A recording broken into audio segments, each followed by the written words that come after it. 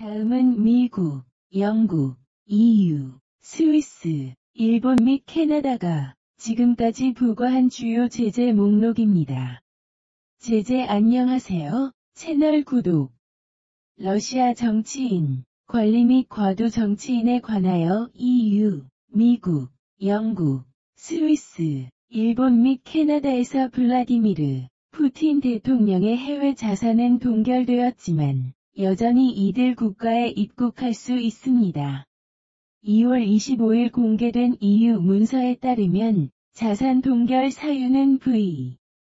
푸틴 대통령이 도네츠크와 루한스크의 독립을 인정하고 러시아군이 이 지역에 진입하라는 명령과 우크라이나의 전면적인 침공 때문이다.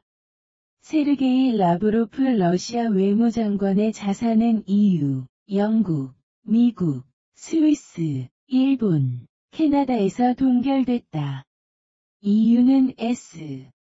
레브라브가 우크라이나의 영토 보전, 주권 및 독립은 물론 우크라이나의 안전과 안보를 훼손하는 행위에 대한 책임을 지고 적극적인 지원을 제공한다고 밝혔습니다. 그는 여전히 세계를 돌아다니는 것이 허용됩니다. 세르게이 슈이구 러시아 국방장관과 알렉산드르 보르트니코프 러시아 보안국 FSB 국장은 EU, 미국, 스위스, 캐나다 입국이 금지됐다. 두 사람 모두 해외 자산 동결 대상인 러시아 관리 명단에도 포함됐다. 일본도 슈이구에 대한 제재를 가했다.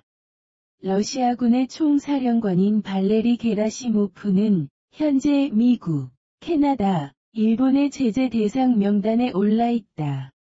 다음은 이들 국가에 입국이 금지되고 자산이 차단된 사람들의 목록입니다. 2014년에 그는 이미 EU와 영국의 블랙리스트에 올랐습니다. 러시아 의회 EU, 스위스, 캐나다는 도네츠크와 루간스크의 독립을 승인하기 위해 투표한 351명의 State Duma 의원에 대해 제재를 가했습니다. 여기에는 현재 이들 국가에 입국할 수 없고 자산이 차단된 사람들이 포함되어 있습니다.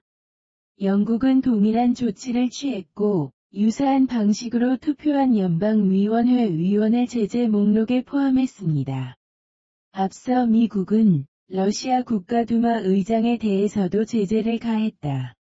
채널을 구독